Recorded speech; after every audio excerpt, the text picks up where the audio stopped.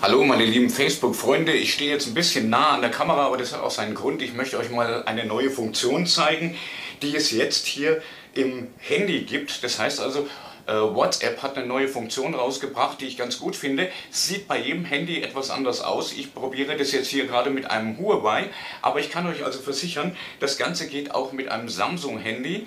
Und es soll auch angeblich bei iPhone gehen. iPhone weiß ich nicht, also muss ich nicht unbedingt haben, aber der ein oder andere hat vielleicht ein iPhone zu Hause und äh, ist ganz stolz drauf. Ich brauche das nicht. Ich brauche eher sowas wie Samsung oder Huawei.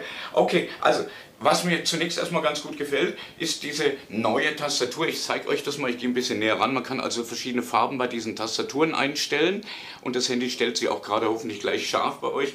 Und ähm, dann zeige ich euch, was WhatsApp alles Neues hat. Bei mir, bei meinem Huawei sieht es nun eben mal so aus, aber bei meinem anderen Gerät, bei meinem Samsung, sieht es natürlich noch ganz anders aus.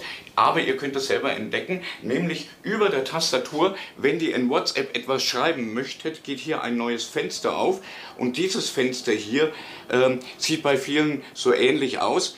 Aber es hat neue Funktion eingebaut, äh, es sind auch verschiedene GIFs drin. In diesem Fall, wie gesagt, bei meinem Huawei sieht es so aus. Das heißt, ich kann jetzt auf dieses Google-Zeichen drücken und dann erscheinen hier eine neue Zeile. Und wenn ich jetzt bei dieser Zeile hier drauf drücke, dann kann ich meinen Text aufsprechen und das Handy schreibt selbstständig das Ganze, was ich jetzt gerade hier gesprochen habe, schreibt es auf, sogar in einem ganz guten, fehlerlosen äh, Deutsch.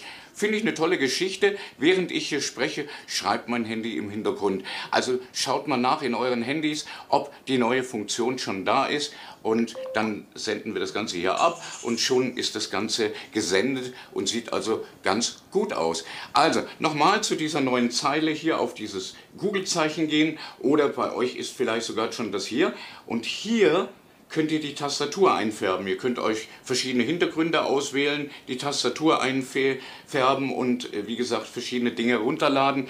Also das finde ich schon mal eine tolle Geschichte. Wie gesagt, in WhatsApp, wenn ihr auf einen Partner gebt, den ihr schreiben wollt. Ich schreibe gerade mir selber, nämlich dem Frank.